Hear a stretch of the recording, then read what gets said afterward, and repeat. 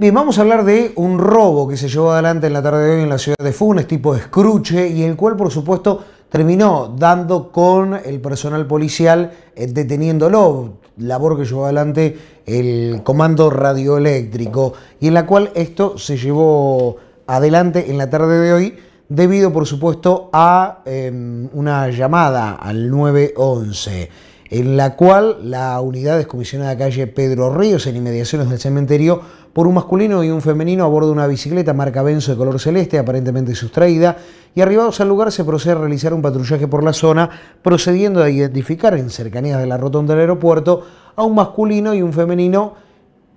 en bicicleta con similares características aportadas por la central de 911, momentos en los cuales eh, se traslada el móvil policial al observar en inmediaciones de calle Urquiza al 800 una ventana que daba al Cardinal Este que se encontraba violentada. En el lugar se procede a entrevistar a la propietaria, la cual da cuenta de que antes un vecino le hacía línea dando cuenta de que el portón del fondo estaba abierto, por lo que procedieron a verificar la finca, dando cuenta que en la misma se observa la faltante de una bicicleta, marca Benzo, tipo mountain bike, color negro y turquesa, y atentos a esto se procede a la aprehensión de la llamada. Salto y momentos en los cuales se intenta colocar las esposas de sujeción al masculino, él mismo propina un golpe de puño en la zona del abdomen al oficial del comando para luego darse a la fuga a la veloz carrera perdiéndolo de vista en calle Tomás de la Torre, debajo de lo que es el puente de José Cepaz. Atento a esto,